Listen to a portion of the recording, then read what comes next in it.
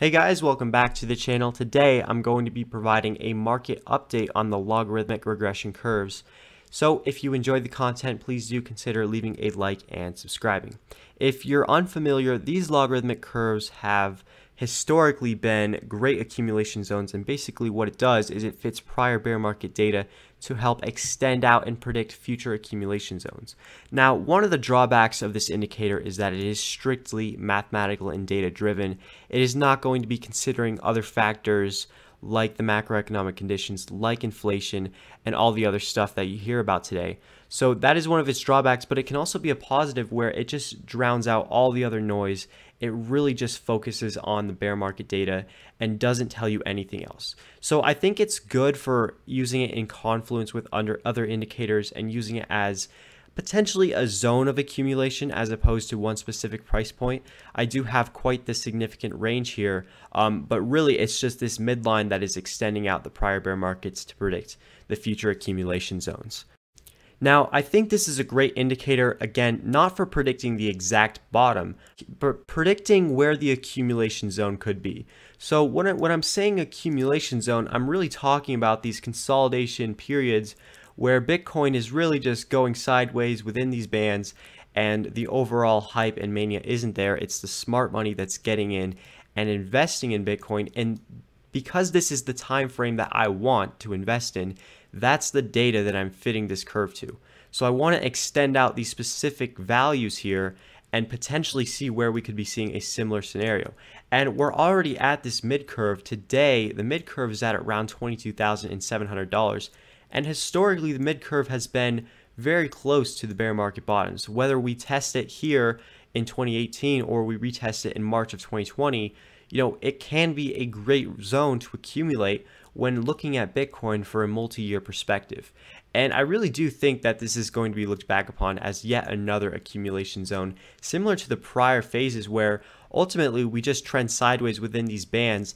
And then when Bitcoin is ready for the next bull market leading after into the next halving, again, you know, the cyclical nature, I think eventually we're going to start moving back up to the top of this regression curve and just forming yet another cycle. Now, I think it has to take a while to play out. I think we're going to need to um, obviously spend a very long time accumulating and going sideways within these bands during the boring market conditions, but that is when the accumulation is. That is when you can develop your positions at low entry points, when there's not a lot of noise, when there's not a lot of mania and hype, and that is when it's going to be looked back upon as a great zone and opportunity. So also one of the things I want to talk about is how we can use this and take the price difference between certain levels. Now, I'm going to switch over to a different logarithmic curve, but it's still going to be a similar thing, which is taking prior bear market data and helping analyze some, some interesting aspects of Bitcoin. So this logarithmic curve has much more information behind it. It's really just going over each phase into the cycle. And essentially what it does is it takes a fair value best fit of all the data, which is this middle green line, it's a little bit bolded so that we can see, you know, where is Bitcoin trending with its mean value as opposed to um, potentially the extremes. And what we can do is we can take the closing price and, and divide it by this middle line. And what and when you do that, this is the curve, this is the graph you get. Now, I'm showing you this because it does a great job at illustrating the fact that Bitcoin has diminishing volatility. So if we just take a general look at these peaks, you know, Bitcoin is over time getting less and less extended from the from the middle line. Right? We can see how if we go back to 2013, from the peak we were extended above it by about 700%. From the 2017 cycle, we were extended by about 270%.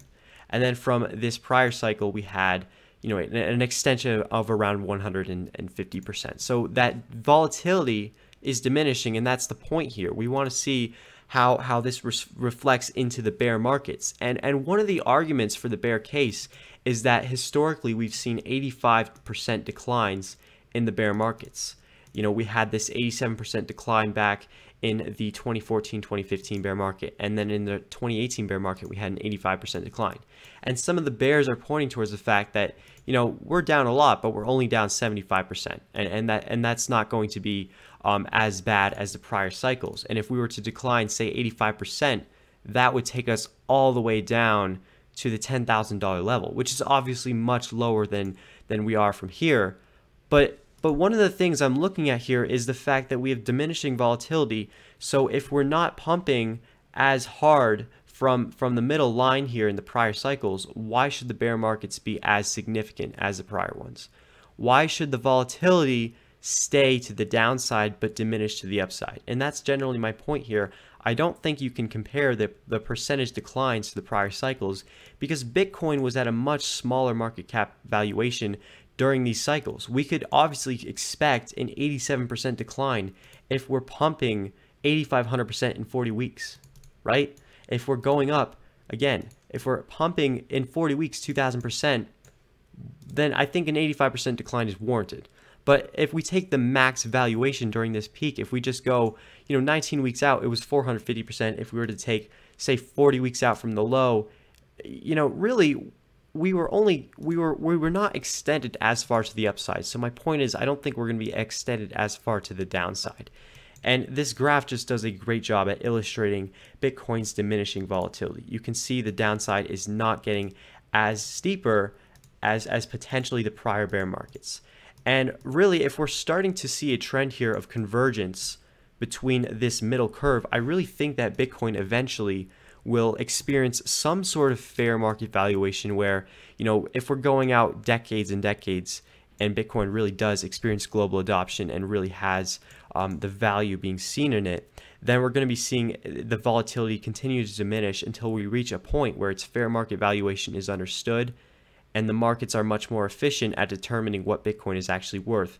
And we won't see these huge cycles where Bitcoin goes and oscillates around this midline by, you know, extreme valuations. So again, I do think this is converging. I do think in general the volatility is diminishing and we won't be seeing a, a an 85% decline. That is my thesis behind this. If you have um, any comments to counterpoint this, feel free to leave those below. I really do appreciate those.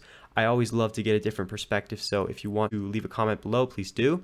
And as always, I hope you guys enjoyed, and I will see you in the next one.